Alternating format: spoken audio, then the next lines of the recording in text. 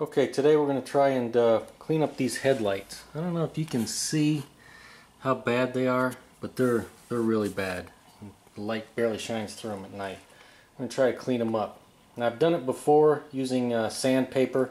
That's usually how I do headlights with uh, just progressively finer uh, grits of sandpaper. Today I'm going to use going to use this Mother's NuLens headlight renewal kit. It has this little power ball thing here.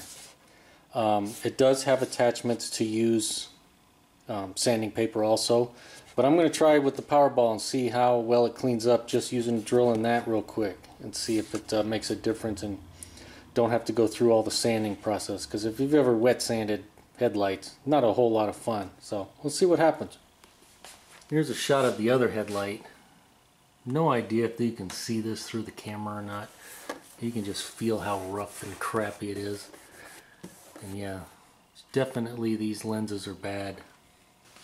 And uh, you really should mask around the area so that it's uh,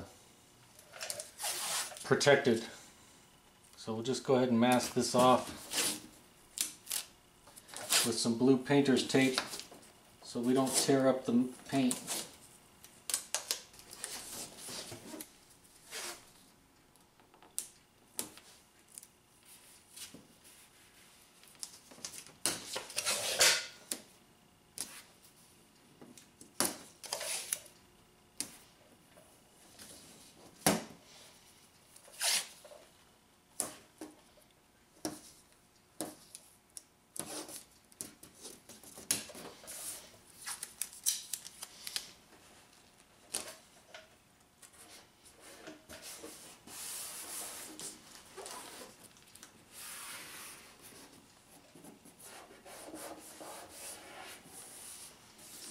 And if you're really worried about it, you can double up on it. The tape.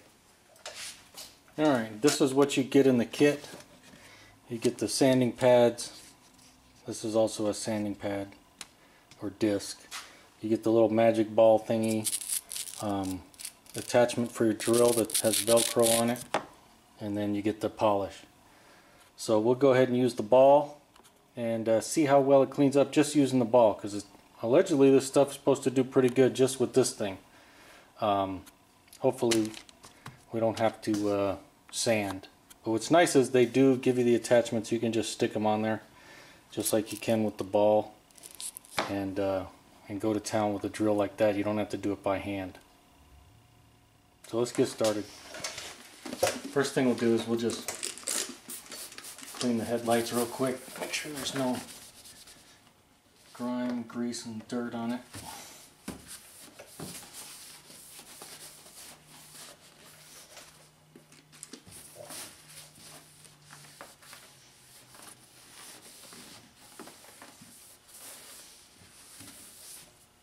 Alright, now we just put a little bit of this polishing paste on the end of the magic ball here and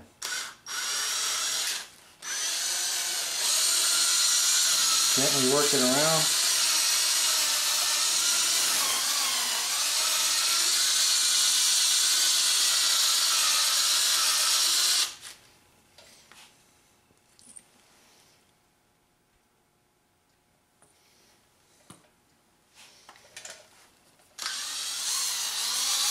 Not too fast with the drill so you don't fling it off.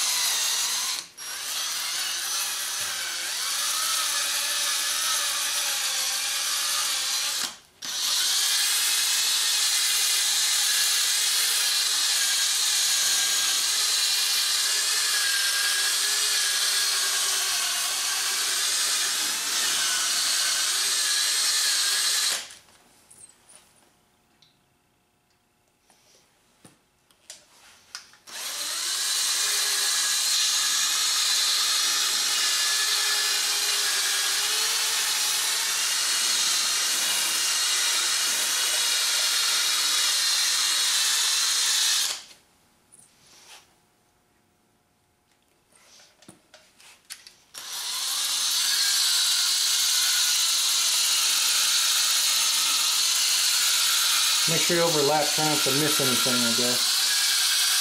We all know it.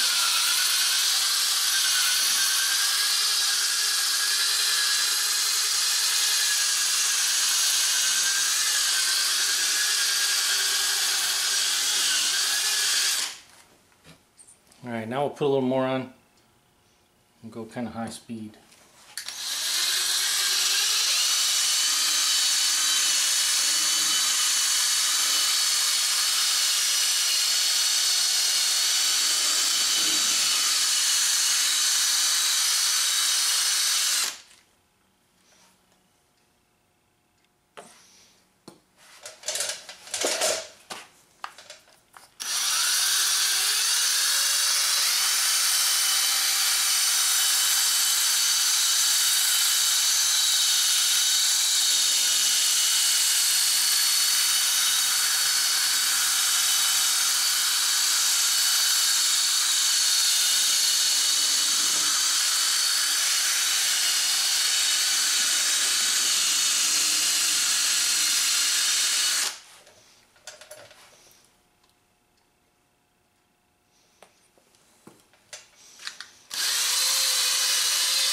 Whoops, see what I mean about pulling it off? We'll do one last time.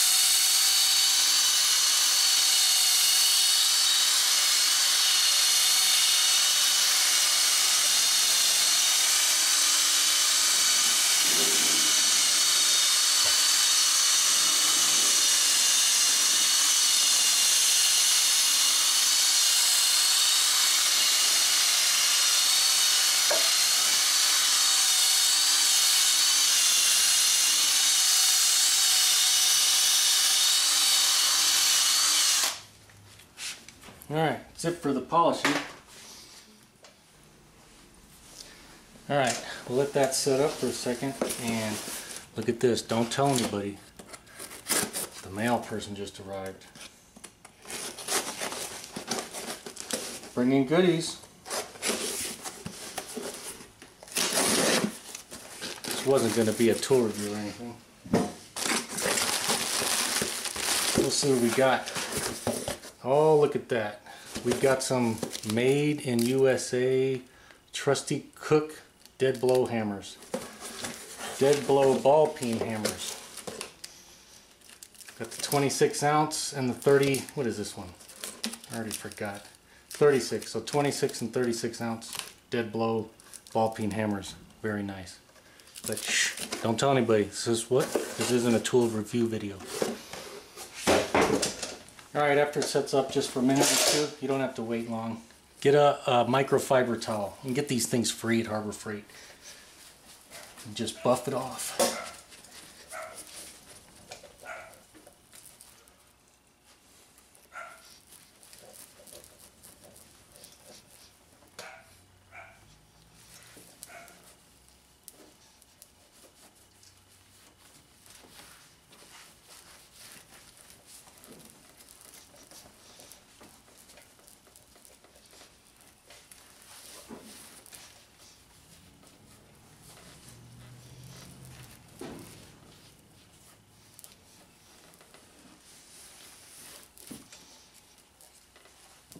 And if you want, if you're not happy with the results, you could do it again. Polish it again.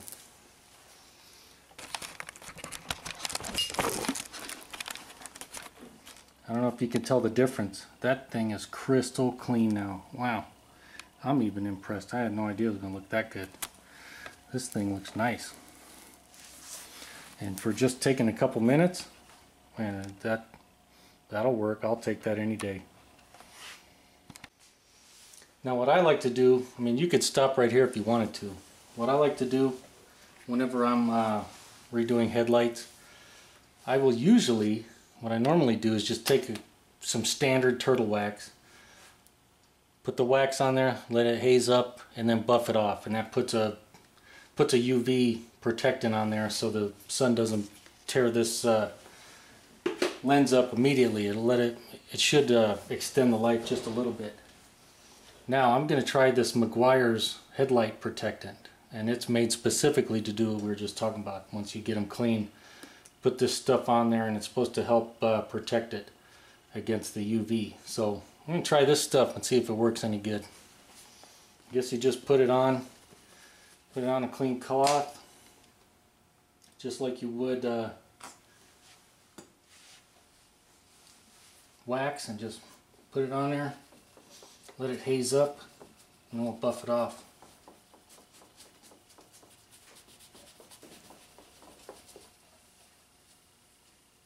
Ooh, this stuff stinks. And we'll let that uh, dry and then we'll buff it off. And with this stuff, you don't have to let it sit too long.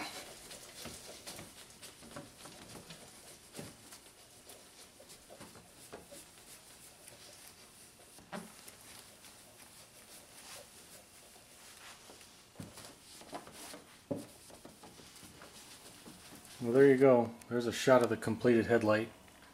I think pretty much almost looks brand new. For just a couple minutes, tell you what, I'm impressed. I like it. We'll see if that uh, headlight protectant actually holds up better than the turtle wax I normally put on there. Let's check out the other side to get a comparison. If you can see how yellow and hazed over this one is. And I did clean it, so this is cleaned. But yeah, you can feel it's just rough and crappy.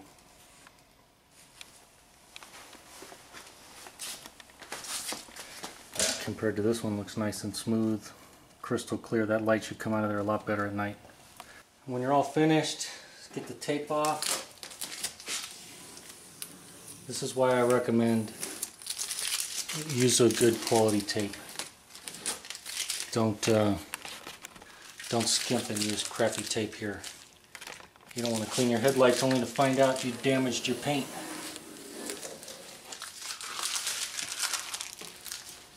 Make sure you can clean up the edge in case you got anything around. There you go. That's how it looks. End result. Pretty much crystal clear. And check out the other side. It also looks really good. This one was actually worse. Um, I ended up doing it twice. But it actually still looks really, really good compared to the way it was. So I'm impressed. This stuff works pretty well considering you only have to do it you know just with this uh, just with this little attachment you know just run it on your drill real quick and buff it off and you're done and now that I've used um, I've used this Meguiar's headlight protectant compared to just my standard turtle wax that I've always used. I still like this stuff better, but that's just me, personal preference. Maybe I'm just an old dog. Uh, no pen intended. So there you go.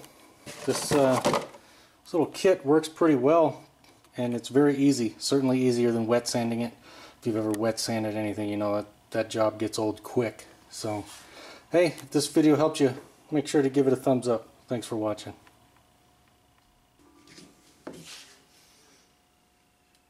Ooh, made in USA.